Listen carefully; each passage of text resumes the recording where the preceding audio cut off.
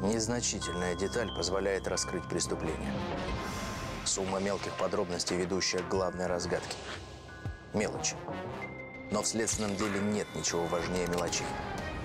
Самые громкие уголовные преступления нашего прошлого. Я расскажу, как криминалисты десятки лет назад изобличали преступников без спецтехники, камер слежения и электронных баз данных. Как было раньше, когда следователи раскрывали самые запутанные преступления только с помощью интуиции и добытых вещественных доказательств. Вещдок.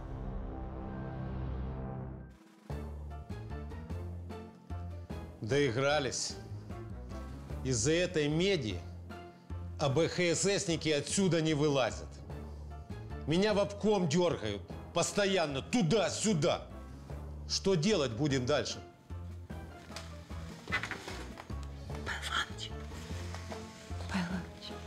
Ну я же просил. Да, но... Ну, это из обкома звонят. Вот опять.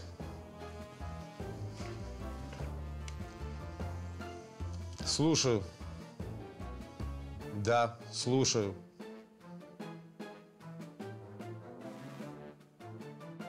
Что?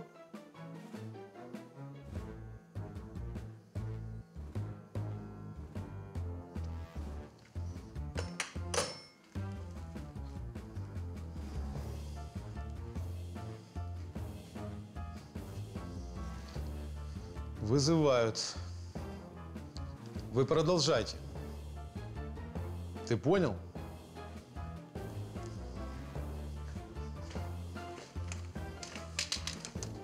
Ну что, товарищи, продолжим. –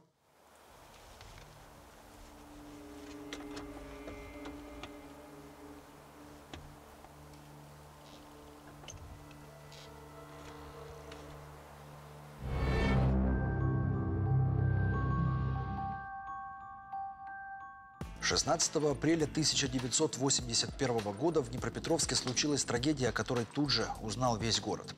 В квартире директора приборостроительного завода обнаружили три трупа.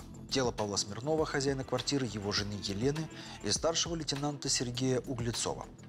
Все трое убиты выстрелами из револьвера «Наган». Странно, что никто из соседей не слышал выстрелов.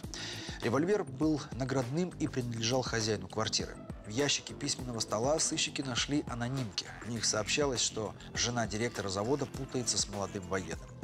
Судя по всему, картина преступления была следующая. Смирнов застал любовников на горячем и застрелил, после чего покончил жизнь самоубийством. Да. Ну, что думаешь? На первый взгляд, убийство и самоубийство. Хозяин квартиры обнаружил жену с любовником, схватил свой наган, застрелил и потом сам того. Кто их обнаружил? Тела обнаружил Николай Смирнов, брат хозяина квартиры. Ваш брат, он что, нервный был? Как думаете, мог он застрелиться и жену убить? Ну, как сказать.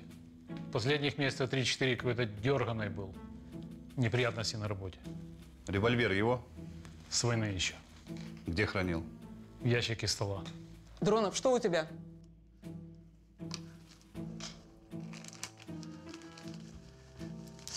На револьвере отпечатки Смирнова, так что похоже на самоубийство. Что еще? Э, В барабане револьвера есть один неиспользованный патрон. Покручу его. Ну, покрути, покрути. Патроны где хранил? В сейфе, как положено. А где сейф с патронами? В другой комнате. Идемте, покажете сейф.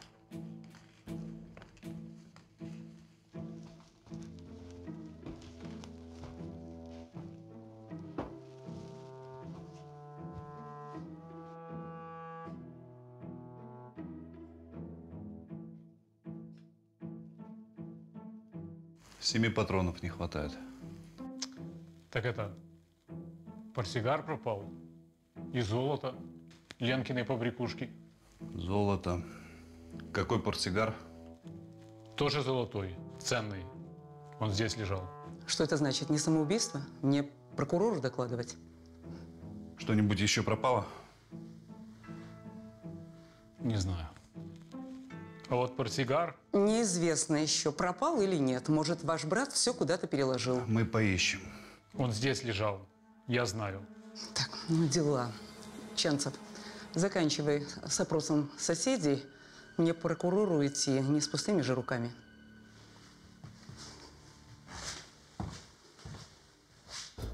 Ну что, готовы? Не добивай меня, Ткачук. Начну с простого.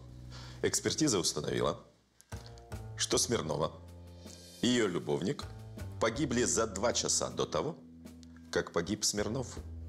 Он что, убил их, а потом еще два часа думал, стреляться ему или нет? Не, он вообще не убивал. Как-то. А вот послушайте. В общем, Вскрытие установило. Елена Смирнова и Сергей Углецов умерли, когда директор еще был на совещании. произошла инсценировка. Продолжай. У нас было шесть выстрелов. Понимаете? Шесть. А пороховые газы только здесь. Что тогда получается? Так может быть, когда кто-то держал руку и нажимал спусковой крючок. Вы только посмотрите. О, Александра Ивановна, вы уже здесь?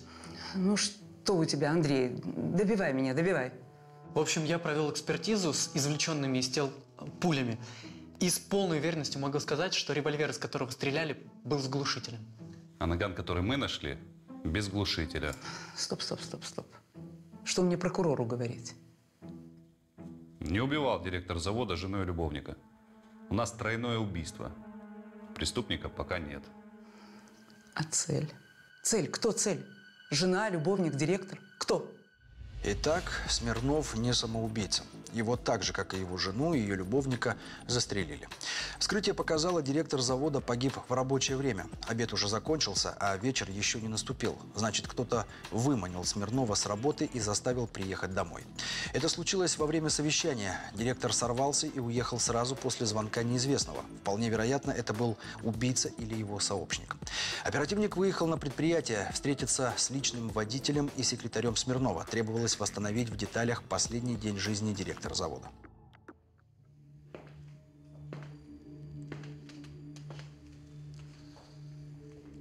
Брат убитого сказал, что он сильно нервничал в последнее время. Знаете почему? Ну, на личные темы я с ним не разговаривал. Может, про любовника узнал. Вот и. А на работе? Враги были? Да, как сказать, он же директор. Каждый день что-то разруливал. И, если честно, кресло под ним зашаталось.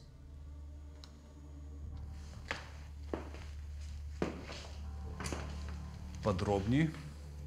Так АБХСС проверяла. И давили на него. Вот он и сорвался, наверное. Думаете, Смирнов мог убить и сам застрелиться? Да, черт его знает. А вы почему спрашиваете? Это не самоубийство? В квартире директора приборостроительного завода Павла Смирнова застрелены хозяин, его жена Елена и лейтенант Сергей Углецов, любовник Елены. Первоначальная версия – расправа обманутого мужа, а затем самоубийство. Однако экспертиза устанавливает, Елену и Сергея убили несколькими часами раньше, когда директор был еще на работе. Чтобы расправиться с Павлом, убийца поджидал его возвращения домой. На заводе в последнее время проводили проверки сотрудники ОБХСС. Смирнов сильно нервничал по этому поводу, боялся потерять должность.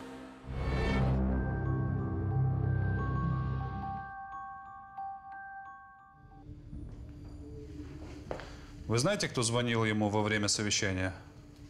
Нет, я не знаю. Это должна Лидочка, секретарь, знать. Мы во время совещания обсуждали важные вещи, телефонные звонки игнорировали. Отвечала секретарь. Сейчас я ее позову. Лида, зайдите.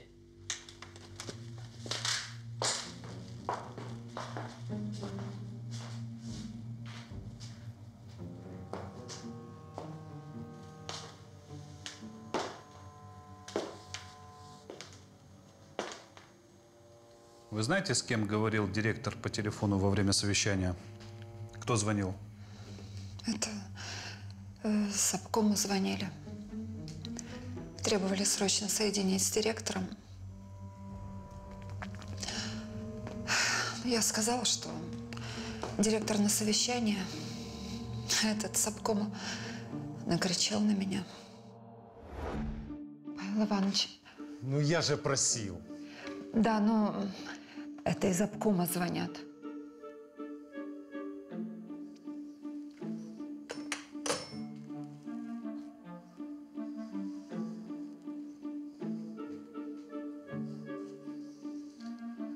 Вызывают.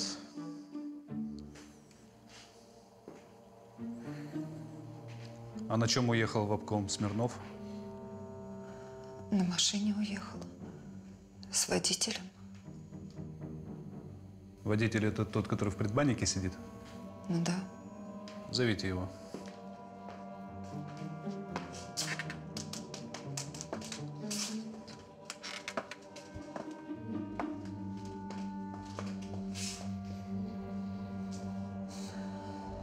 Добрый день. Вы замечали в последнее время что-нибудь странное в поведении директора? Я на заводе работаю недавно. Привычек его особо не знал. Сядет на заднее сиденье и молчит. Документы свои смотрит. А вчера, после обеда, тоже молчал? Когда вы в обком ехали? Молчал. Только в обком мы не приехали. А куда? Смирнов действительно приказал ехать в обком партии, но на полпути потребовал остановиться. Дальше я сам. Завтра утром, как обычно. Бывай. И где вы его высадили? Да прямо возле дома. В квартале от... Хм. А дорога в обком обычно через дом Смирнова пролегает? Ну да. Директор ведь там живет, в центре. Жил. А когда вы его высадили, ничего странного не заметили? Может, кто-то подходил? Кто-то ждал его? Парень высокий. Завтра утром, как обычно. Давай. Выйдя из машины, Смирнов пошел в сторону своего дома. У подъезда к директору завода подошел высокий парень в спортивной куртке. Что? К молодой жене спешишь? И куртка такая с ромбом на спине. С каким ромбом? Да вот с таким вот. На всю спину. Да что мне ромб? Лицо. Лицо знакомое было? Откуда же поступил звонок, который заставил директора сорваться во время важного совещания? Может быть, и в самом деле из обкома? Дело в том, что на заводе, которым руководил Смирнов, шли проверки. Работали сотрудники АБХСС. Недавно возле Ужгорода задержали машину с листовой медью. По документам это был металлический лом с завода. Вызовы в обком в те дни не редкость. Звонок отследили, и выяснилось, что за час до гибели Смирнову звонили не из обкома. Кто-то воспользовался уличным телефоном-автоматом, который стоял в сквере. Складывалась такая картина. Неизвестный предварительно убил жену Смирнова и ее любовника, а потом выманил самого директора. Видимо, сообщил об измене супруги. Нажал на болевую точку. Сыщики понимали, что им противостоит хитрый оппонент, который знал о семейных проблемах Смирновых. В сквере оперативник Чанцев опросил мам, гуляющих с детьми. Добрый день. Вы тут часто гуляете? Каждый день. Два дня назад, Ребенок же спит. два дня назад в обед, вот к тому телефону мужчина подходил. Вы его не видели? Нет, не видела. Тут дай бог за ребенком уследить. А вы кто? Я из милиции. Оперуполномоченный Чанцев. Ой, как замечательно. А помогите нам, пожалуйста. Дело в том, что ежедневно в сквер приходит какой-то странный мужчина. Достает шахматную доску, раскладывает ее и начинает стучать фигурами. И чего тут странного? Есть такие спецы, сами с собой играют, не обязательно сумасшедшие. Да не играет он. Он достает фигурки и начинает ими тарабанить, как пулемет. Быстро-быстро. Разберемся. И где он? Ой, а нет его. Так-то он каждый день сидит. Неизвестный шахматист мог быть свидетелем. Пеньки, на которых он обычно сидел, располагались близко к телефону-автомату. Интересно. Вот мой телефон. Зовут меня Дмитрий Чанцев. Как только появится этот одинокий шахматист, звоните. Если меня не будет на месте, передадут. Ой, спасибо вам большое. Ну-ну, не кричите. Ребенка разбудите. Спасибо. Сразу после беседы с молодыми мамами оперативник Чанцев отправился к следователю Симашко. Видели, кто звонил? Не, но есть еще надежда, потом расскажу. Давай, докладывай, головы. Ага, ну, на неиспользованном патроне я обнаружил отпечаток пальца. И он не принадлежит ни одному из убитых. Хорошо. Э, Найдем, у кого был мотив, сравним, да и дело с концом. Да, Чанцев? Э, По поводу мотива. Думаю, нужно поискать на заводе. С чего это вдруг? У нас же любовная версия. Ну что, убитый не один любовник был. А на заводе АБХСС, проверки, левый металлолом. Стоп, стоп, стоп. Пусть этим АБХСС и занимается. Не будем мешать коллегам. Чем мы им помешаем? У нас убийство тройное. Не кипятись. Любовную версию отработаем. Если ничего, тогда и к заводу вернемся. Как скажете. Что еще? А, ну, глушитель... э, Понятно, скучно. Теперь я. Я побывал во дворе убитого, поговорил с соседями, знакомыми. Те сказали, что к директору пару раз приходил сын от первого брака. Почему нам это интересно? Сын носит курточку с ромбом. А по словам водителя, прямо перед смертью к Смирнову подходил какой-то парнишка в куртке с ромбом. Да, я это запишу. Прокурору доложить надо. А что за куртка такая?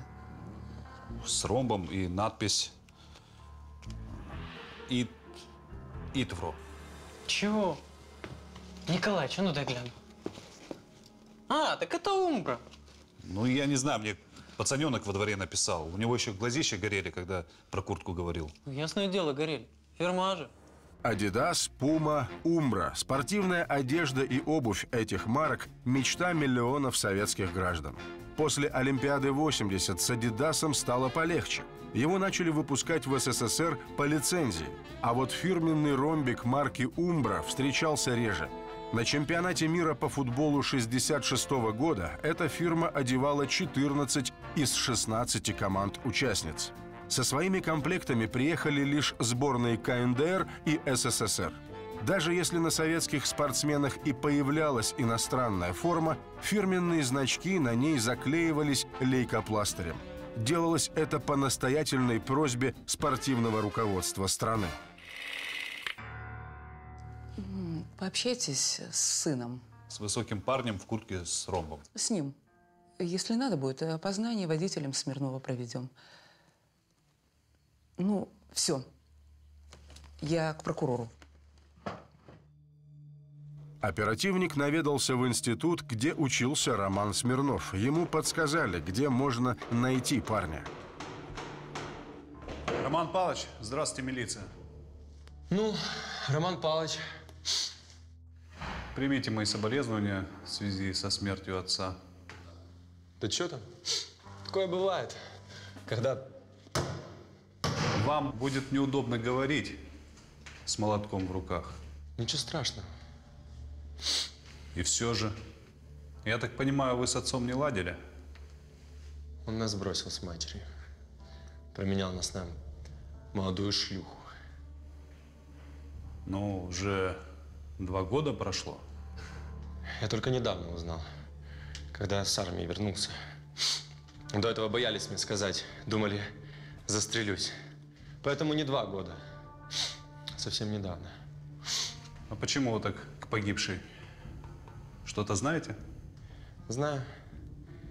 Я видел, как она к себе домой кобеля водила.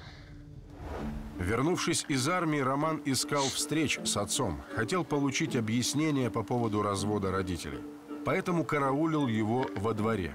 Увидев Елену Смирнову рядом с молодым офицером, сразу понял – они любовники. Парочке плохо удавалось скрывать связь.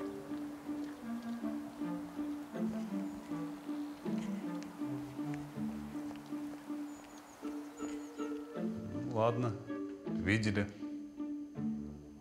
А сами-то где были 16-го, когда отца убили? Дома? Вещи собирал. И отца не видели. Глаза не видел. Ладно, поехали, будем проводить опознание. Какое опознание? Водитель отца твоего видел, как к нему подходил парень в куртке с таким ромбом на спине. Таких курток в городе немного. Да и ты, парень, приметный. Ну, видел я его.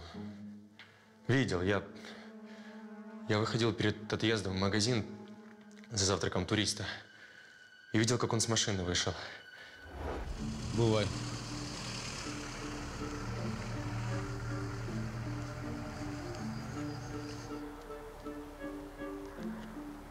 Что? Молодой жене спешишь? Ты? Одного сына не замечаешь. Ром, ты прости меня. Отец был не похож сам на себя. Роман не мог вспомнить, чтобы отец когда-то просил прощения. И парень растерялся. Я не убивал папу. Я не убивал папу. Разберемся. Эксперт-криминалист снял у Романа отпечатки пальцев и сделал смывы с рук, шеи и даже ушных раковин. Сыщики искали следы пороховых газов. Александра Ивановна, Давай, заходи. У нас тут все темы кончились. на неиспользованном патроне отпечатков пальцев Романа не обнаружено. Также на теле и одежде парня следов пороха не найдено. У следствия нет больше к вам вопросов. Гражданин Смирнов. Разве что вы не замечали, в подъезд, кроме любовника Елены, входил кто-то посторонний? Нет. Вспомните, сообщайте.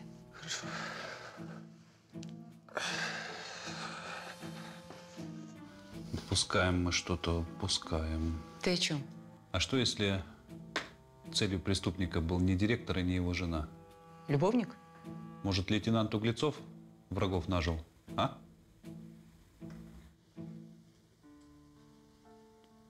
Довела его Ленка. Довела. А вы что, знали о том, что у сына отношения с замужней? Так он же с ней, с незамужней еще встречался, когда в школе учились. Замуж ее звал. Да какое там. Ленка за Смирнова пошла. У него денег куры не клюют, в золоте купалась. Ну, понятно. А у сына враги были? Что. Сереженька хороший мальчик был, и друзья у него хорошие. По службе тоже все отлично шло. Ленка виновата. Ленка шалава. Крутила со всеми подряд. С кем? Я же их не считала. Ну вот недавно по улице иду, а она сидит в кафе и не прячется прямо. Проходя мимо летнего кафе, женщина случайно увидела Елену. Она разговаривала с каким-то неизвестным мужчиной. Мужчина вел себя грубо, оскорблял Елену. Понял? Да пошла ты, идиотка! Дура! Тише. Ненормально. Неожиданно к Елене и ее собеседнику подбежал Сергей и стал драться с хамом. Здрасте, тетя Том. Бандит, понимаете? Вот просто настоящий бандит. Почему вы решили, что Елена сидела в кафе с бандитом? Порядочные люди ж наколки не делают. А у этого, ну, как из тюрьмы, разрисовано на руках. Погибшие Сергей Углецов и Елена Смирнова конфликтовали с человеком внешне похожим на рецидивиста. Оперативник Дмитрий Чанцев посоветовался с коллегами. Под описание седой с татуировкой Магадан подходил некий Александр Братко. Сидел трижды за нанесение тяжких телесных повреждений. А Братко ходила молва, что он за деньги на все готов. Избить, запугать, вытянуть долг. Правда, никаких прямых доказательств, подтверждающих слухи, не было. Мать Углецова узнала о Братко по фотографии. Теперь осталось установить, что связывало Елену Смирнову с рецидивистом Братко.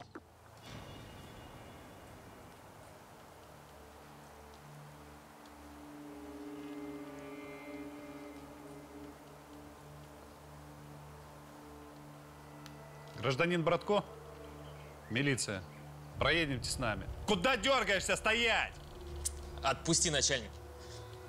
Сам пойду. А вот и золото. Вещдок на лицо. Ружье мое. Личное. Кореш подогнал.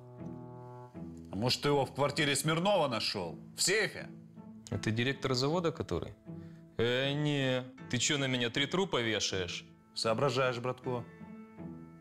А что там за ссора была в кафе? Да жена этого директора на меня вышла. Намекала на это. Да говори уже. Да что говорить-то? Я слышала, о тебе многое говорят. Вот думаю, может, ты и мне поможешь. Елена Смирнова хотела избавиться от мужа. Спросила бывшего уголовника, сможет ли он решить эту проблему. Ты чё?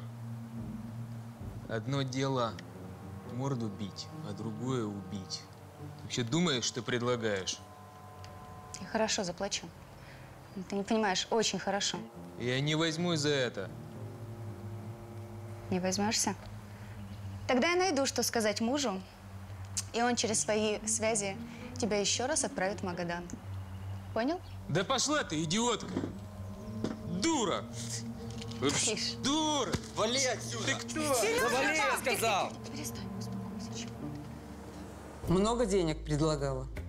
Точно не говорила. Только рыжья на ней было, как на елке игрушек. Недаром со старым хрычом в постели кувыркалась. Где был 16-го? В Николаеве я был. 14 числа кореш откинулся. Вот у него на хате и гудели. Золото откуда? Она сама мне его дала. Через пару дней встретила, опять просила, чтобы я ей с мужем помог. Золото сама дала. А я что, дурак от ружья отказываться? Мы проверим. А ты посидишь пока. Это тебя. Ты женат? В разводе. Женщина, а на фоне ребенок плачет. Оперативника нашла молодая женщина, та, которую Чанцев опрашивал в сквере. Она сообщила, что на пеньках вновь появился подозрительный шахматист, тот самый игрок, которого все мамочки и дети района считали сумасшедшим. Чанцева, напомню, он интересовал как потенциальный свидетель. Шахматист мог видеть, кто звонил из телефонной будки в кабинет директора Смирнова. Оперативник сразу же выехал в сквер. А вот он, вон. Опять пришел сюда, стучит своими шахматами. Я разберусь. Чанцев немного понимал в шахматах. Заметил, что мужчина фигурами водит не хаотично. Ходы правильные. Оперативник догадался, перед ним высококлассный шахматист. Здравствуйте. А вы кто? Я из милиции.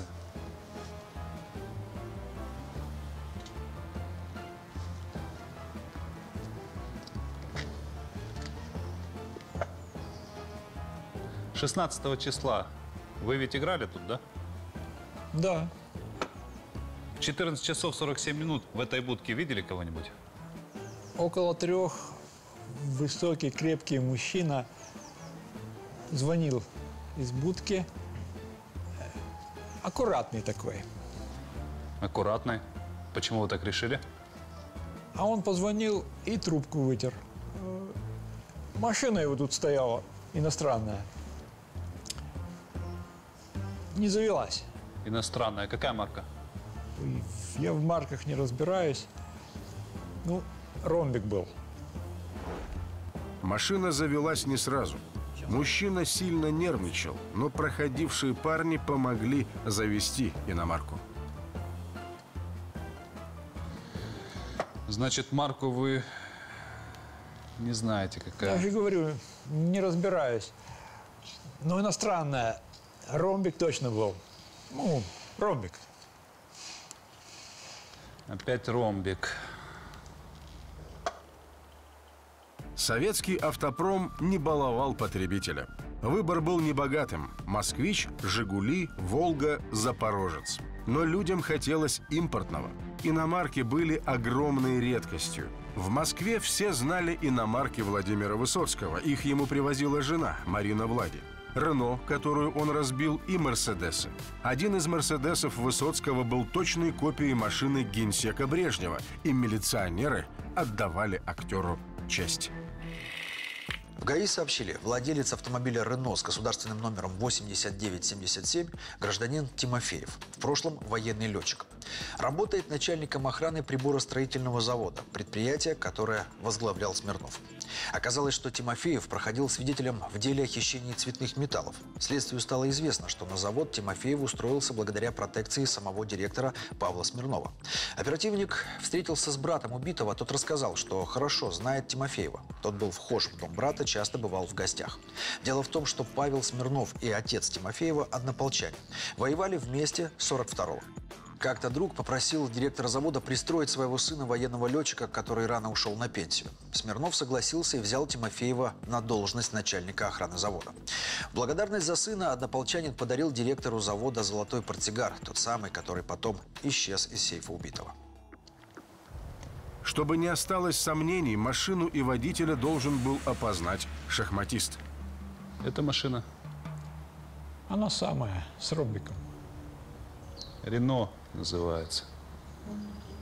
И хозяина тоже узнали, Тарас Петрович? Чего ж не узнать? Он. И куртка на нем также похожая, как у летчиков. Угу. Летчики, они по этому делу большие специалисты. Не употребляю. Тоже не употребляю. Извините, служба. В квартире директора приборостроительного завода Павла Смирнова застрелены хозяин, его жена Елена и лейтенант Сергей Углецов, любовник Елены. Выяснилось, убийца вначале застрелил любовников, а затем выманил Павла Смирнова с работы домой, позвонив ему из телефона автомата. Свидетель видел мужчину, который в это время звонил из автомата. У него была приметная машина – «Рено» белого цвета. На таком автомобиле ездил начальник охраны приборостроительного завода, друг Павла Смирнова Василий Тимофеев.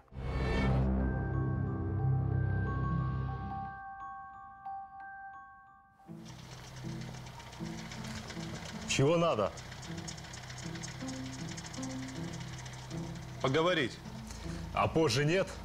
Гражданин Тимофеев, зажигание. Выходите из машины.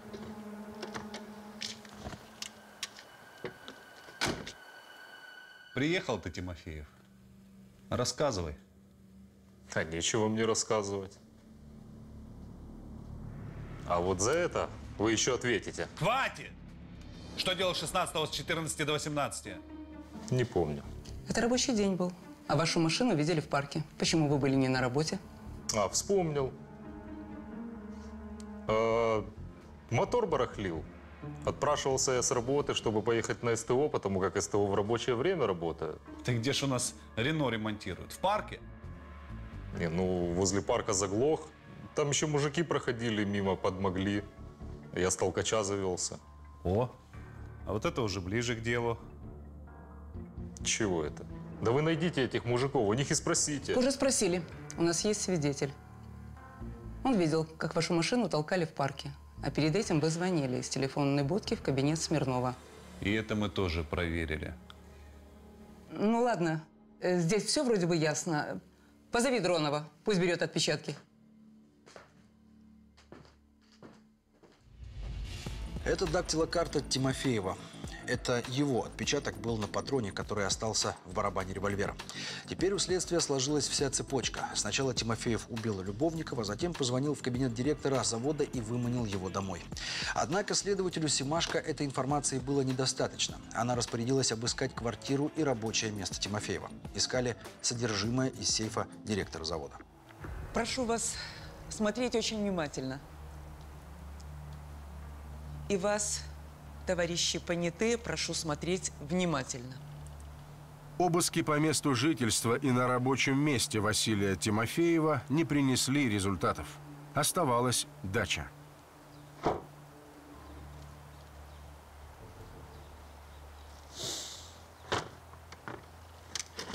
Обыск продолжался третий час. Ничего, что говорило бы о причастности хозяина дачи к тройному убийству, не нашли. Попрошу вас, гражданин Тимофеев. Чего? Дурачка не изображайте. Валер!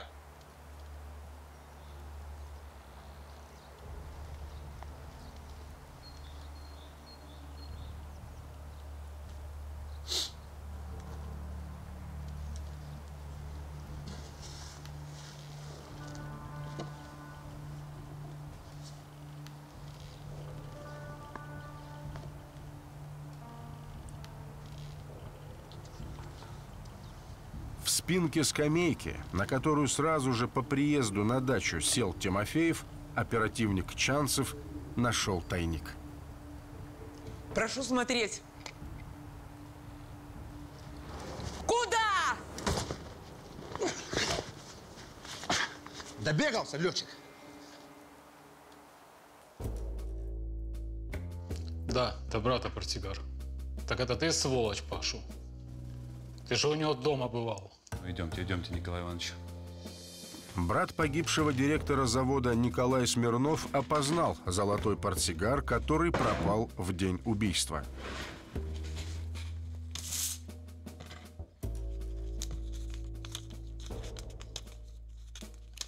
Вы, Тимофеев, глушитель с собой принесли, сделали свое дело, протерли револьвер, а вот оставшийся в барабане патрон нет.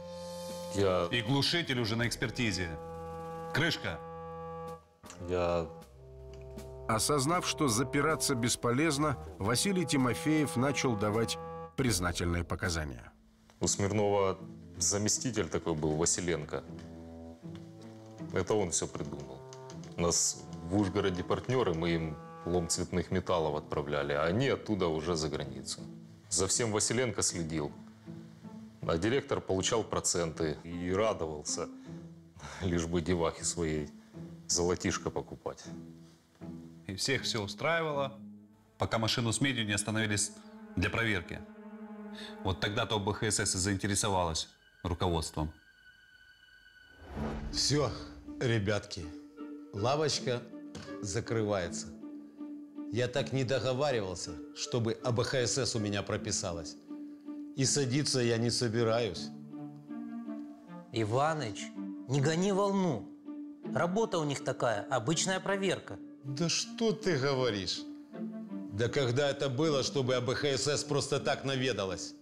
А машина под Ужгородом? А встречные проверки? Вот у меня где это все. Так ведь и не даром. А ты поговори мне. Если что, мне сидеть. Я один по документам прохожу.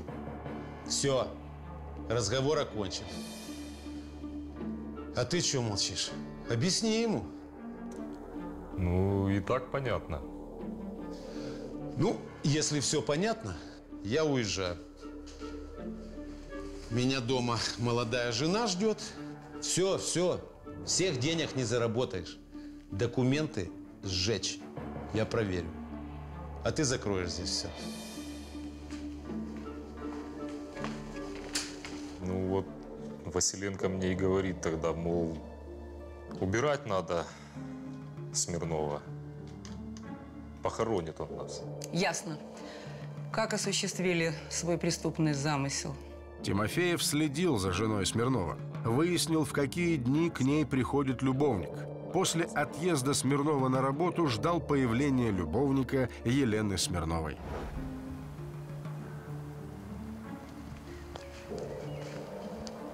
Через 20 минут после того, как Сергей Углецов вошел в квартиру своей любовницы, Тимофеев вышел из машины.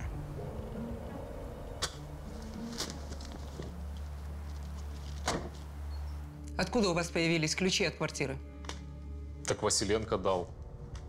Он как-то дубликат сделал, когда они были в командировке с директором.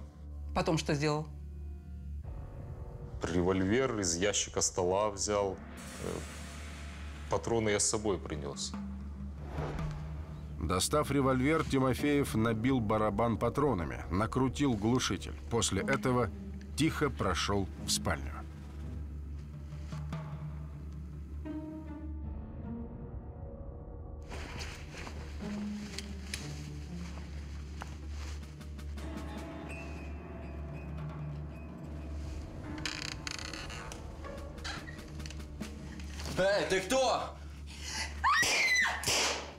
Тимофеев убил любовников первыми двумя выстрелами. Остальные сделал, чтобы запутать следствие.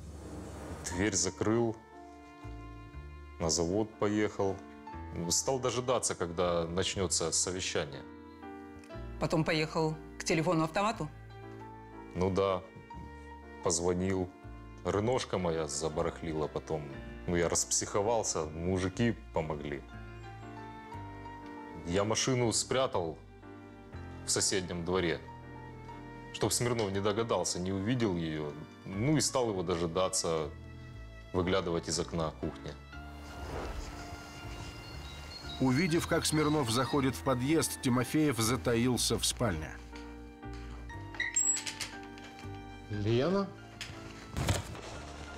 Тимофеев оглушил ошеломленного Смирнова сильным ударом в висок. В эту же точку, чтобы не выдавать себя, выстрелил.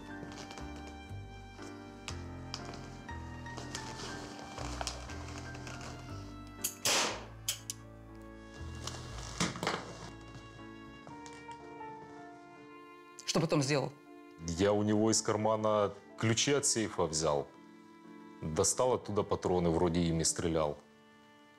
А портсигар зачем забрал? От жадности? Отца это моего портсигар. Умер он недавно. Ну, я не смог оставить.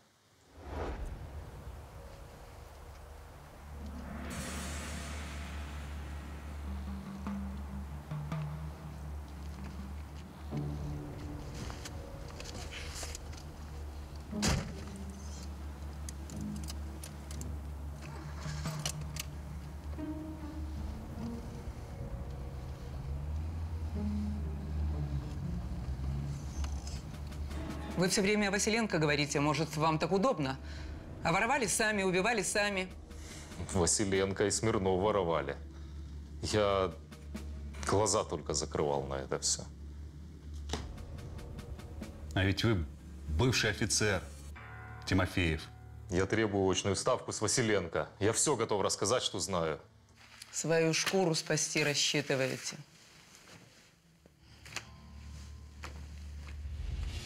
В ходе следствия понадобилось несколько очных ставок между бывшим начальником охраны завода Василием Тимофеевым и бывшим заместителем директора Степаном Василенко. Показания Тимофеева и найденные при обыске дачи Василенко денежные средства и драгоценности полностью доказывали вину Василенко в хищениях социалистической собственности в особо крупных размерах. Начальника охраны Тимофеева осудили за тройное убийство. Заместителя директора Степана Василенко за хищение и соучастие в убийствах. Оба были приговорены к исключительной мере наказания.